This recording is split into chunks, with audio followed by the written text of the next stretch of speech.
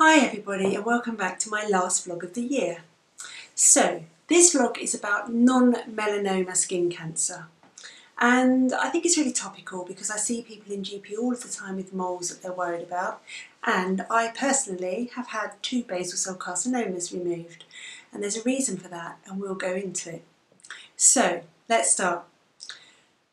So non-melanoma skin cancers are one of the most common skin cancers in the world. There are two main types.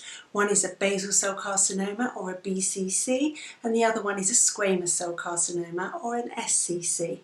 They are more common on the head, the backs of the hands, the upper back and chest, basically where the sun has been. So who gets these cancers?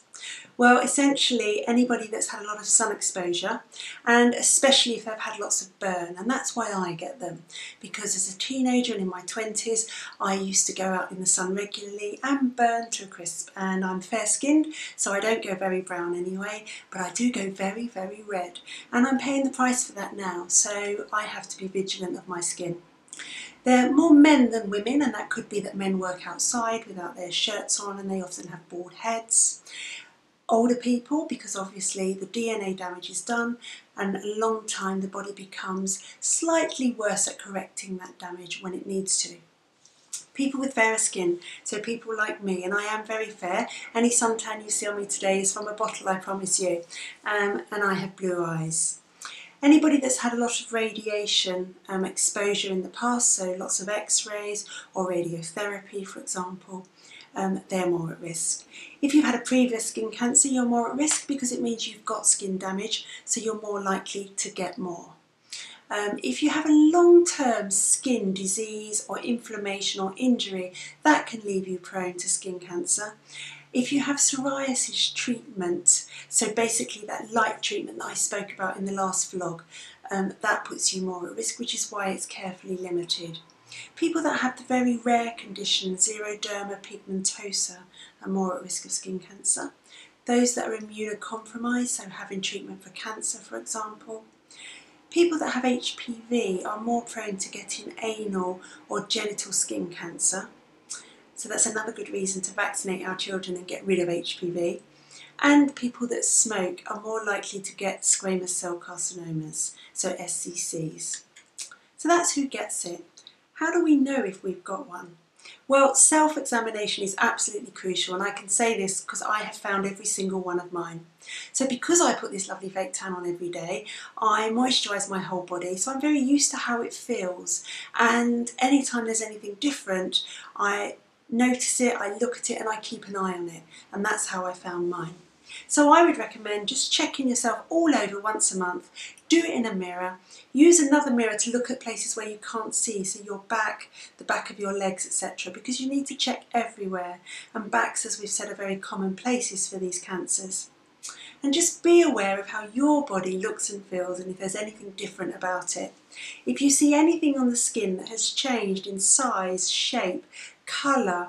Is it an unusual lump? Is it feeling rough? Is it bleeding? See your GP. So what are these cancers and what's the prognosis? So let's split them out into a BCC and an SCC. So a BCC is a cancer of the basal cell of the epidermis, so some of the top layers of the skin. Sometimes it's called a rodent ulcer, which I think is a horrible description, but that is what it's called. 75% of all skin cancers in the UK are BCCs and that's good news because they're very slow growing in the main and they're easy to get rid of. Very rarely do they spread to other body parts, although occasionally um, you can get more aggressive basal cell carcinomas that spread quickly and can migrate to other body parts and bones. But in the main, if they're treated early, um, they just don't spread and they're easy to cut out and they're almost always cured. So sometimes, however, they can recur after you've had a treatment. So that's called local recurrence. And then a squamous cell carcinoma, or an SCC, is a cancer of the keratinocytes in the outer layer of the skin. So the crusty layer of the skin, when it goes crusty, is caused by keratin, and that's where SCCs are. They are the second most common type of skin cancer in the UK, most people who get one, like the basal cell carcinomas, will be completely cured. They're usually slow growing, a little bit faster than the BCCs, but still slow growing, and they rarely spread. They can spread, however, if you leave them, but generally that time span is years rather than weeks, as it were. Very rarely you can get, just as with the BCC, a very aggressive form of SCC which can, which can spread quickly and go to other body parts. But as I've said, that's rare. So what do they look like? Well, how long is a piece of string? The description of an SCC or a BCC is almost endless. They can be a variety of marks on the skin. So as I said before, anything new, anything changing, anything growing, get checked out. But there are some rules as to what they look like. So BCCs can be often flat, firm, pale or yellow patches. They can be raised, red, itchy patches. They can be small, pink, red, translucent, shiny, pearly bumps. And you can sometimes see the blood vessels growing underneath them and spreading out a bit like a clock face. They can be um, little growths, pinhead growths with raised edges that roll in um, and they can be lower in the centre and sometimes again have these visible um, blood vessels. Sometimes they can have blue or brown patches in the middle, especially those pearly ones. They can be open sores or areas of skin that are not healing, or when you do treat them, they go away and they come back. And that's how mine presented, my first one. So I had a little patch on my shoulder here that was less than a centimetre, looked like a bit of eczema, wasn't very itchy, didn't go away. When I put steroid cream on it, it did go away and then it sprung straight back again. And then one day I was out in the summer with a little top on and I noticed that it was bleeding from my bag touching it. And that's when I went to have it checked out. So they can also look like small patches of eczema. And as I've just said, they can be fragile and bleed quite easily. So those are the warning signs for BCC. And SCC tend to, as I've said, appear in these sun exposed places. So face, ears, neck, lips, hands, and sometimes in scars or sores. Um, they can be rough, red, scaly patches which possibly crust, and that's because of that keratin element to them, and they can bleed. They can be open sores which don't heal or come back after you've treated them, just like the BCCs, or they can be warty, so they can just look a bit like a wart on top. So I think, as you can see, the descriptions of these things is almost impossible to pin down to, to you know anything that's manageable, and that's why again anything unusual, growing, new, or that you're worried about, see a GP. Because as I've said, they can present in any way with very little difference to the skin sometimes. So it can just be a mark on the skin that you can barely see, but it behaves slightly different to normal skin. I'm going to put a link up at the end of this um, vlog to a gallery of skin cancer so you can just see the variation and what you might be looking for. So how do you get a diagnosis? Well, you go along to your friendly GP, like me, and the GP will have a look and see what they think. And if they're at all suspicious, they will refer you. Um, the referral, depending on what it is, will either be a two-week wait referral if they think it's a squamous cell carcinoma, um, or a basal cell carcinoma with unusual features, and or if it's a standard looking basal cell carcinoma, it will be a routine referral to dermatology.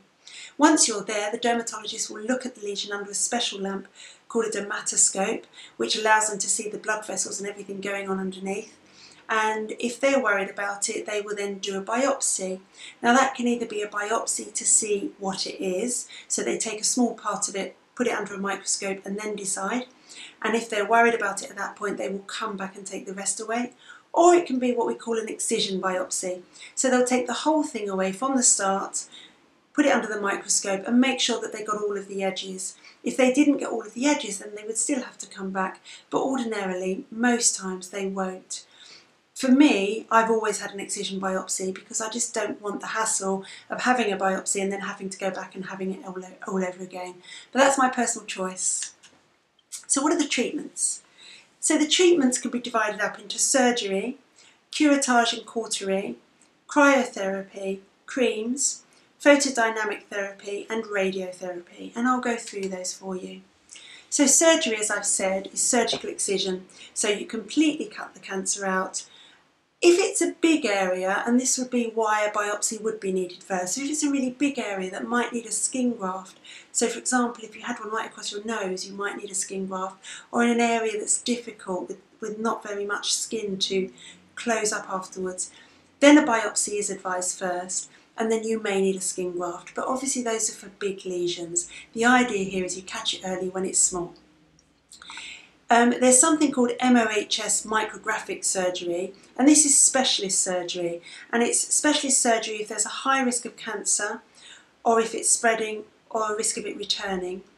If it's in an important area where there is minimal skin removal possible, so you want to take away as least skin as possible when you're doing the surgery, and in this surgery, the margins are checked immediately while you're still there and before it's stitched up, so that if you need to take, the surgeon needs to take more edges away, they can. So that's very specialist surgery. In the main, your dermatologist in their room can do um, an excision for you and take it away. Um, all of mine have been done that way. So curettage and electrocautery. So this is really done for small cancers.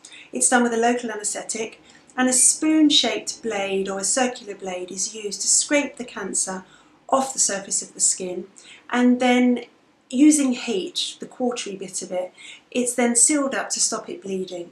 Now you do get a scar in the shape of the lesion that's been removed and you may need to have it done two or three times. So that's the upsides and the downsides of that. But again, that can usually be done in the dermatologist's room. So some GPs even do that um, in their minor surgery clinics. So cryotherapy. So this is liquid nitrogen that's used to freeze a lesion and make it die. Um, it can only be used for early stage cancers so what happens is, just like if you had a verruca or a wart, the lesion is frozen using the liquid nitrogen. It scabs over afterwards and then it should fall off after a month or so. It may scar again where the area is left behind, but that's another quite simple way that doesn't need a local anaesthetic. Now creams, there are two main creams that we can use for these cancers.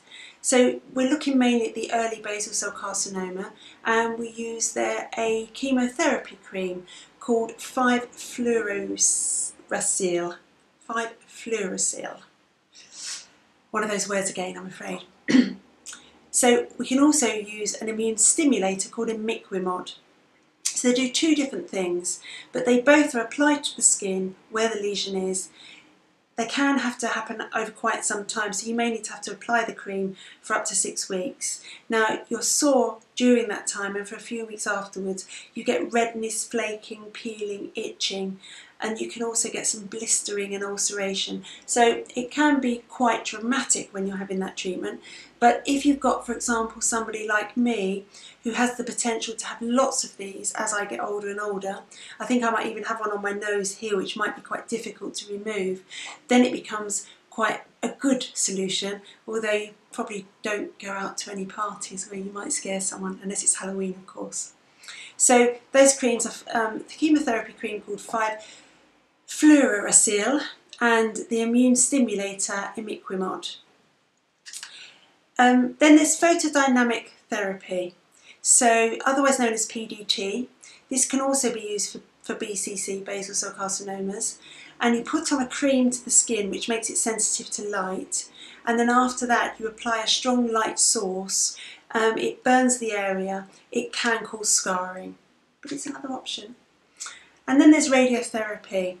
So radiotherapy is low dose radiation when it comes to skin cancers. It can be used for both BCCs and SCCs if surgery is unsuitable for whatever reason, if the cancer is over a large area or it's a very difficult area for surgery.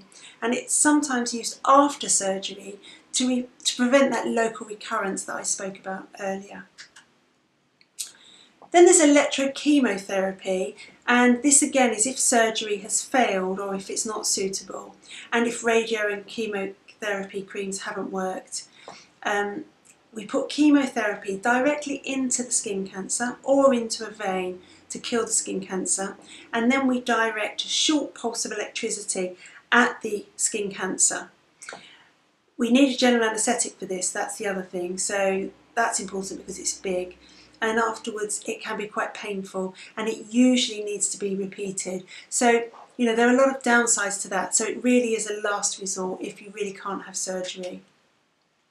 So what's the prognosis if you get a BCC or an SCC? The good news is it's brilliant. So 9 out of 10 people are completely cured and in the main, those that one person in 10 who isn't completely cured, it's generally not been noticed for quite some time, so it's just been allowed to advance. So in summary, basal cell carcinomas, BCCs, and squamous cell carcinomas, SCCs, are generally very slow growing skin cancers. They make up most of the skin cancers in the UK, with basal cell carcinomas making up 75%. If they caught, uh, are caught early, they're usually completely curable, so that's great news for any cancer. 9 out of 10 people are cured completely. The most important thing, and I can't get this across enough, is be skin aware. You know, we always talk to women about being breast aware. Be skin aware. Check yourself over once a month from head to toe. Anything new or anything that's changing, growing, any area of skin that just doesn't look like the other areas of skin, Get your GP to check it out. You can't be too careful and as we get older our chances of getting these cancers grows. Avoid the sun, don't burn, look what you can do from a bottle. And if anybody wants to know, I use L'Oreal Summer Body Light Sun Kiss Look and it's excellent. It's a moisturiser and I pop it on all over after my shower. I wish I'd known this when I was 17 and all of those painful burns could be vanished. So I hope that's given you a summary of the non-melanoma skin cancers. I will in the coming weeks cover melanoma skin cancer, which is more serious than these and not quite so curable. So we do need to talk about that as it's serious. I'm going to wish you obviously a happy Christmas and happy New Year because I'm going to take a break over Christmas. Um, I might put out just a little message um, just to say hi. Um, some of the topics that I'm going to be doing in the new year are things, lots of women's health, um, I was asked today to do menorrhagia, which is heavy period bleeding, so I will be doing that in the new year. I will be doing the not the melanoma skin cancers, and I'll be doing anything else you ask me to do. So please ask me to do anything you want, and I will research it and cover it. As always, I'll put some links into the comments afterwards, so you've got some resources. Have a look at the gallery, and have a fabulous Christmas and Happy New Year, and I'll see you in 2019.